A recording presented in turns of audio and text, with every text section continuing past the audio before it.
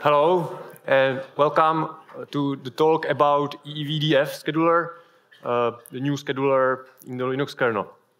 Uh, I am Michal Koutný. I am from the core kernel team, where mainly work on cgroups.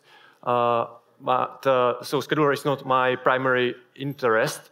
But because of uh, the fair scheduling and the group scheduling, I wanted to learn what EEVDF is. Uh, so I stu studied what, what is the theoretical foundation for that, and I'd like to present it to you, but uh, beware, take it with a grain of salt. I am dilettante at this area. Um, so yeah, I will start with some basic context of, of, what we already have in the kernel with the history uh, and also what we have nowadays with the implementation. I will show some basic parts from the paper. I'm referring to the paper, which is uh, the paper from oh, two guys. Uh, uh, they are in the references. I don't remember even the title of the paper. It's the, but I refer to as the paper from 1995. And also one uh, remark: I did no benchmarking. I expect that uh, this will some benchmarking results will pop up uh, sooner or later in performance team or some maybe others will notice.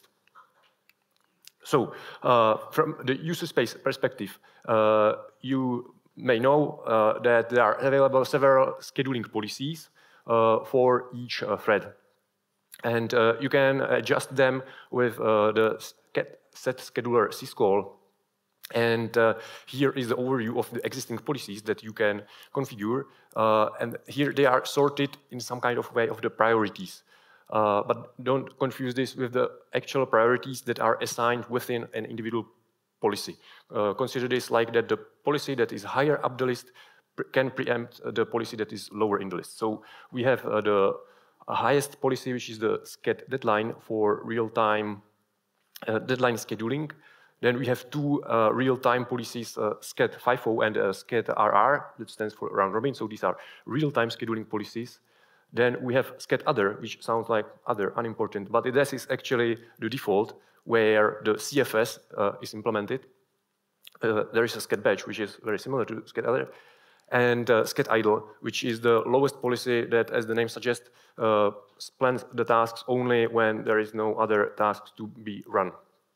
Uh, and uh, so this is the like the user space uh, perspective. So the most important option is called SCHED other, but actually in the kernel the value is called SCHED normal, and that's why the name of this talk is uh, EEVDF is the new SCHED normal. Previously it was CFS, now it's the new normal. This and this joke, like credit goes to Giovanni Gherdovich who uh, figured it out. So uh, what is the CFS we have in the kernel? So uh, it is based on some ideal model of uh, parallel processor where all tasks or active tasks run in parallel and they each get proportional share of uh, the CPU time. So the, here the, uh, the, some kind of virtual time uh, is divided between the tasks uh, where n is the number of tasks, so each gets the fair, fair share. Um, but uh, in the CFS implementation, uh, we actually cannot run all tasks at once. Uh, we have to run one task a bit, one, one task for a while, then preempt and run another task. So their time, the time is not uh, incremented uh, equally, but according to what task is actually running. Uh, so, and when we call schedule to pick a task, uh, so that's where the scheduling policy uh, is, uh, is uh, active. Uh, so we pick the task with the lowest accounting runtime. And this model also generalizes quite simply to priorities. so here I denote the priorities with uh, W. So W is like the weight of a task. Uh, so if we have more important task, so its uh, uh runtime is incremented in smaller amounts. That's why I divided it with a double WI, and then the, sum above is just the normalization in case the weight didn't sum to one. So uh, more important tasks uh, with higher weight uh, have slower uh, runtime progression, so they will be picked. Uh, uh, they would be picked with higher priority or more often, and they would get, on average, the proportional time to the weight. So that's the CFS principle. Now, what was the history of this scheduling of scheduling of this part of uh, in the kernel.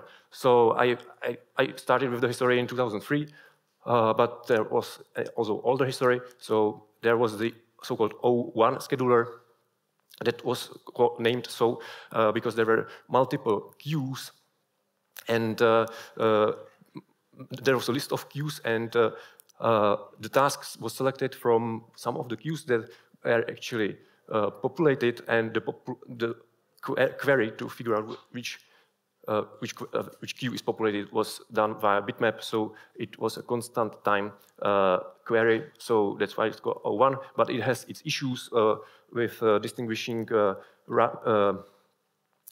latency sensitive and uh, batch tasks. So in 2007 was uh, this CFS uh, that I showed previously was implemented. so it's rather old, I would say.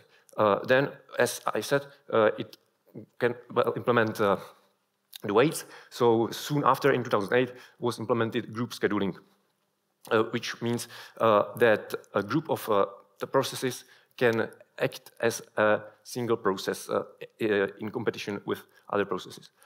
Uh, in 2013 uh, was the sched deadline policy implemented, so I think it is the youngest one from them that were presented and 2000, in 2022, uh, there was a proposal for SCHED-Ext, which means uh, to have an extensible scheduling policy with some hooks that could be evaluated as BPF programs. But this is uh, still an RFC patch set uh, or patch set uh, not merged in the kernel. And at the end of the year 2023 uh, was merged the implementation of EEVDF. So it's in the current kernel, but it's there is still some work in progress, so that's why it's uh, unfinished here. Now, uh, why was this change made?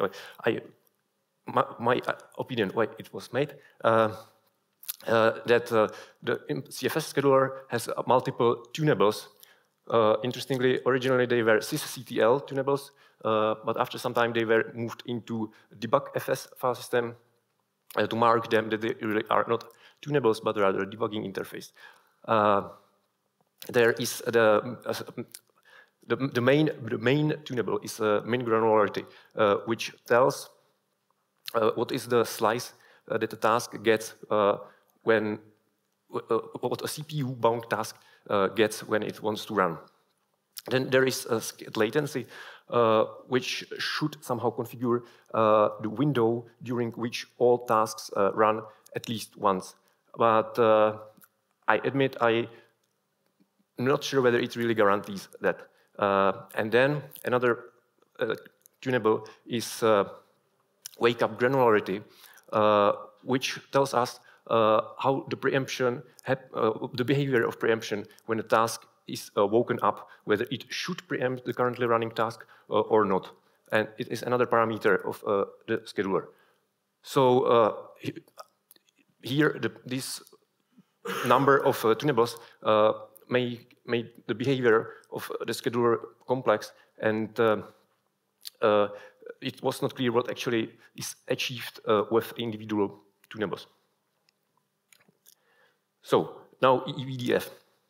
So uh, uh, there is the paper, and the main theorem of the paper uh, uh, says this. I, here I took it in opposite uh, direction than usually when we have definition, theorem, proof. Uh, so I have theorem, and then I will explain the definitions and some consequences. The proof is in the paper. It's several pages. It's too short time here to present it. so basically what it says that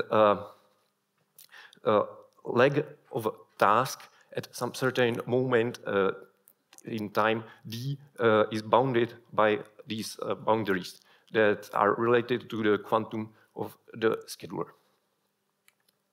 So uh, what is the quantum as the stuff?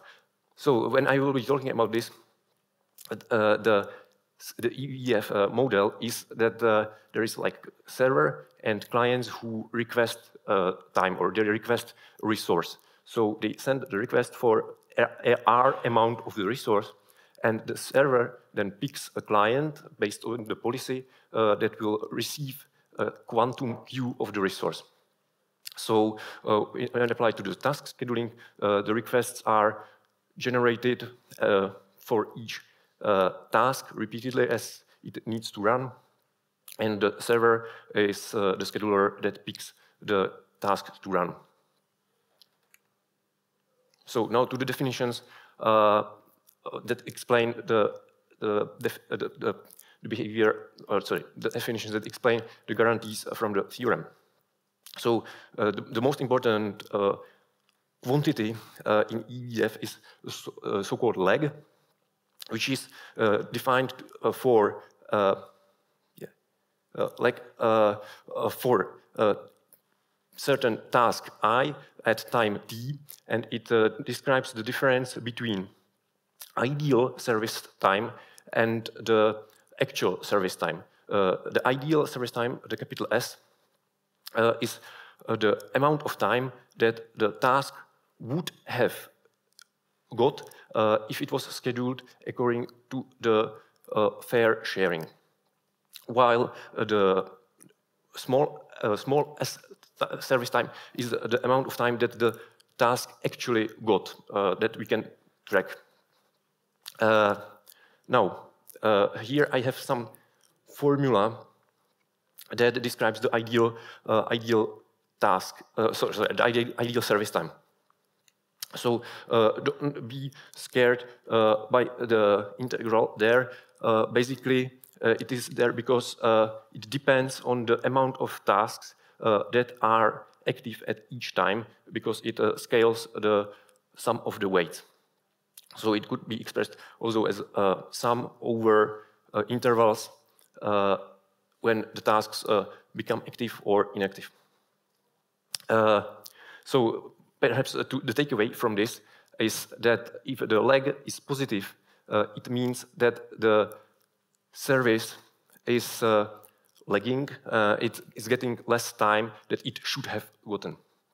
And when it's negative, it means that it got some extra time steady system, that's also one of the assumptions of the, the theorem, that all the events occur uh, for tasks that have zero lag.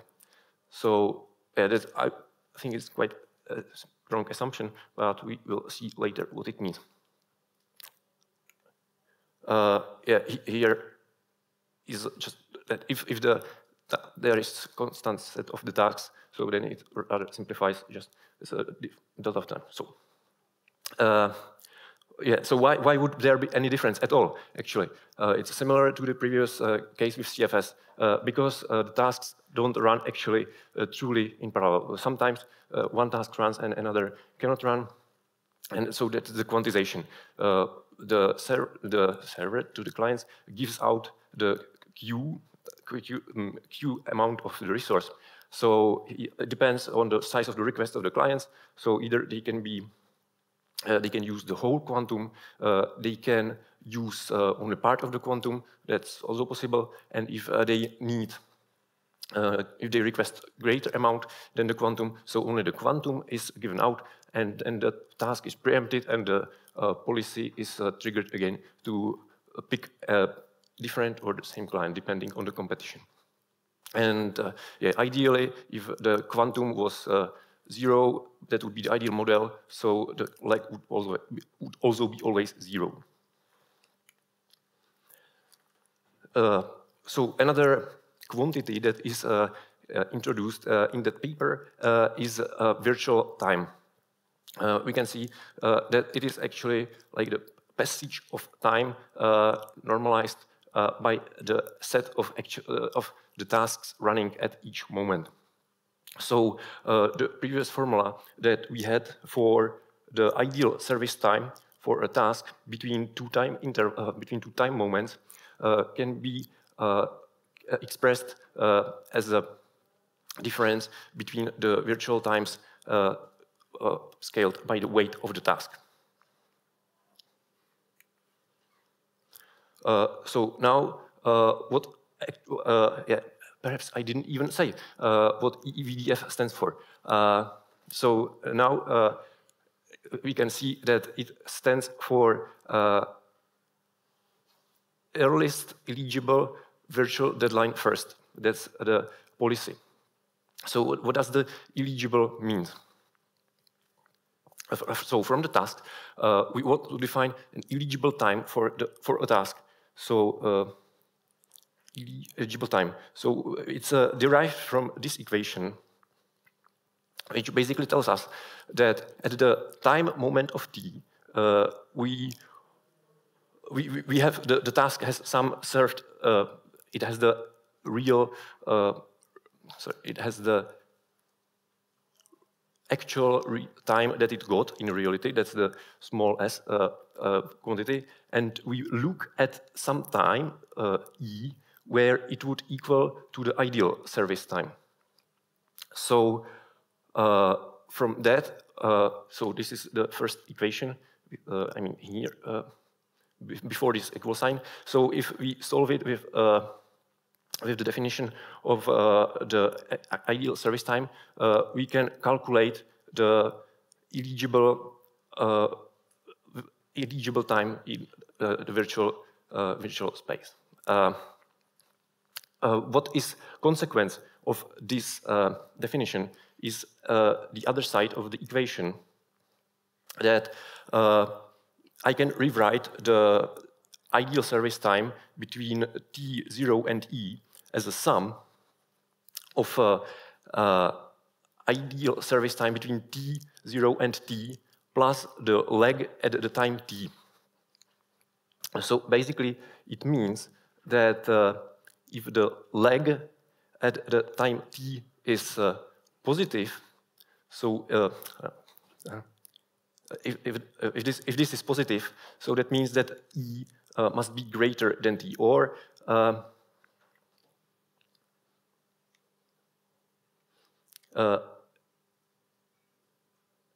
eligible time is uh, eligible time is in the future. Uh, but uh, I have to, uh, this is not what I wanted to say, uh, because um,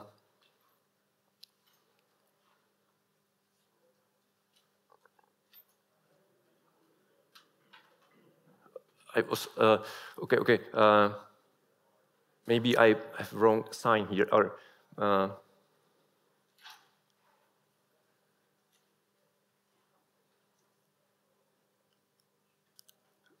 yeah, I think there should be minus. Uh, yeah, so, uh, okay, uh, there should be minus, because what it says, when the lag is positive, the eligible time should already be in the past, that, and that would make the task eligible.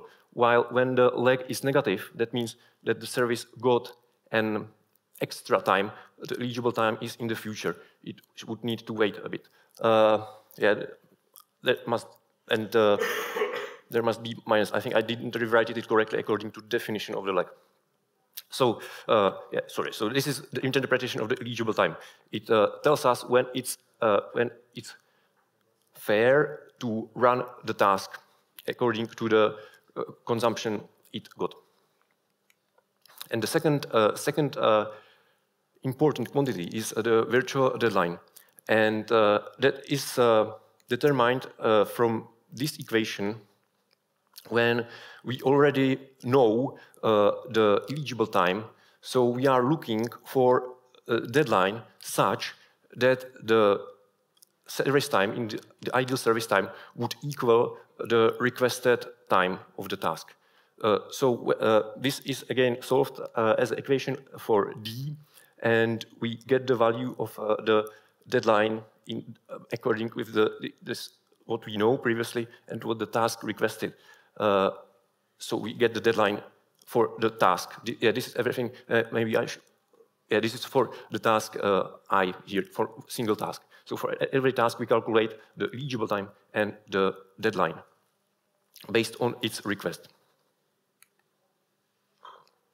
Uh, so, we, we, we have this, yeah, and then we, when we calculate this for the tasks, uh, we can uh, realize the policy of uh, choosing the earliest eligible, uh, earliest eligible, no, uh, eligible earliest virtual deadline task. So that is the one that will be running when we do the scheduling decision.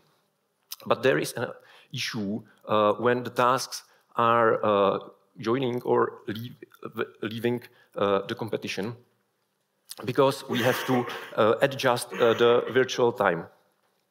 So uh, this is here. He, this is adjustment.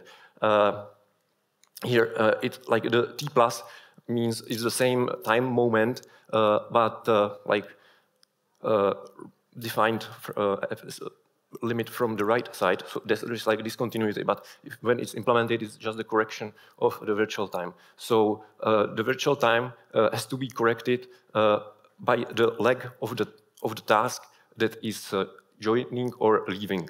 Uh, so here, I hope I didn't mess the signs again, uh, but when the task is leaving, the virtual time is incremented. When it's joining, it's decremented.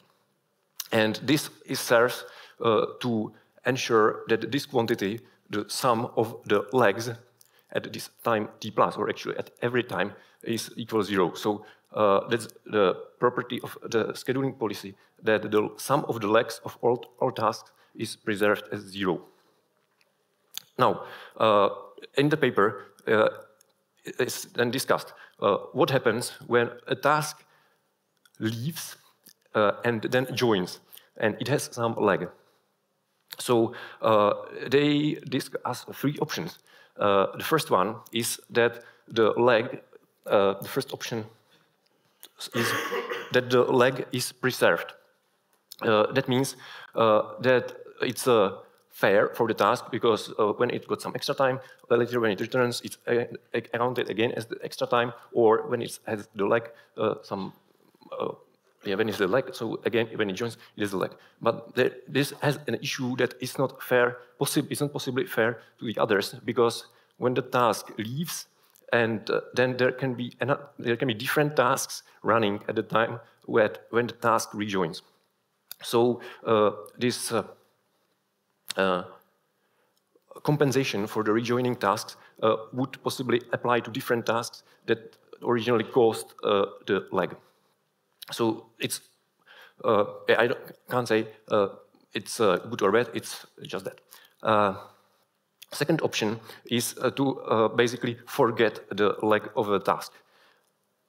this is fair on average over a long time because if the task, sometimes it would leave with positive leg, sometimes with negative leg, and if there, if there is, if this is like random and uh, there is independence between the events. So on average, uh, the leg would be zero. And joining and leaving with a zero leg is like the best thing we can have, ideally. And that's actually the third option uh, that they discuss in the paper, that the operations would be only allowed when the leg is exactly zero. So uh, it's uh, possible uh, and the leg is negative, that means there was some extra time. So the operation can be like delayed and formally executed later. Uh, but actually, I did not get this very well from the paper. That my understanding, when the leg is positive, so like the operation, during the operation, we can delay others. Uh, but because delaying everyone the same amount of time should be like no operation. So I'm not sure whether they, this is the argument that they have in the paper, but they say uh, that uh, it's possible to postpone it like this. But uh, I'm not quite sure about this. Uh, and this is, uh, this, this, is uh, related to the implementations, how they deal with this. So the implementations that we have, I found, or here's the list of the implementations. so there is implementation uh, in the original paper uh, that was based on FreeBSD. Then I found some other implementations, and the current implementation in the Linux kernel is from Peter Zijlstra from 2022 and how it looks like uh, on the outside. So it reduced the number of tunables, or at least for now, uh, uh, to just one, where we have the base slice, and uh, that's the quantum we saw in the paper. At the same time, there is a sched runtime attribute per task uh, that is that's the requests are from the paper. And but this part is only RFC patches. That's not in the kernel. But it should uh, be something else than the regular priorities that we know. Uh, it should be like the absolute amount of the time. So it is similar to the EDF, but in the, this domain of uh, fair scheduling. Uh, yeah, but actually the implementation in the kernel uh, it didn't need to modify that much of the existing infrastructure uh, because the CFS already did uh, the tracking of the virtual time. So it only reordered the existing tree that was there to pick uh, the task according to the deadline. So that was not such a big change in, con the concept. So what is the takeaway from this? Uh, so the policy is uh, explanation explained in the abbreviation. It's eligible virtual deadline first. Uh, the leg of any task is bounded under some assumptions. I'm not sure whether the Linux implementation holds these assumptions. Uh, there is simplification of the wake-up preemption decisions, and uh, despite it's merged partially now, it's still work in progress. Uh, yeah, these are the useful references uh, you may find. And yeah, that's all.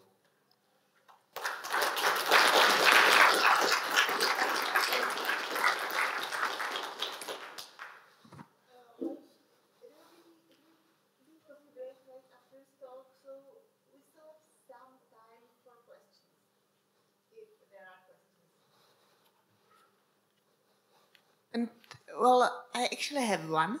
Um, you had there many equations which uh, which were about a task task i but uh, the equations had i only on one side and not on the other.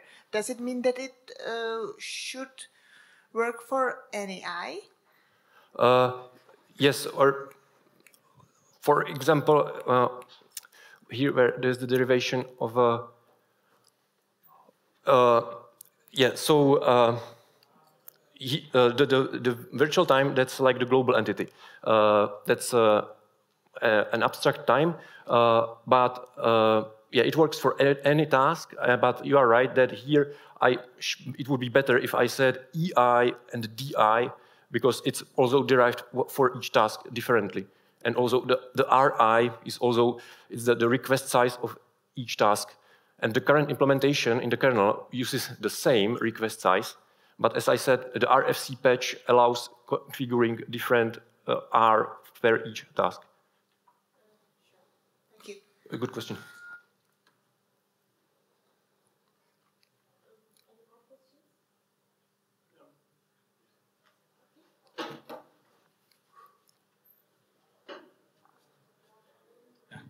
Uh, thank you for the presentation.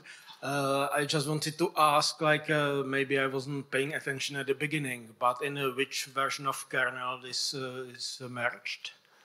Uh, it's in 6.6, um, the EEVDF first part, 6.6. So it's not gonna be in SLE15 SP6 or ALP?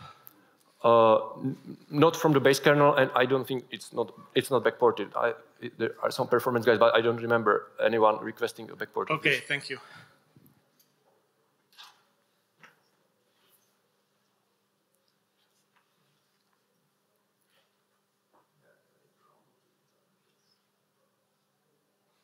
So I think there are no more questions, so I think we can wrap this up. So thank you.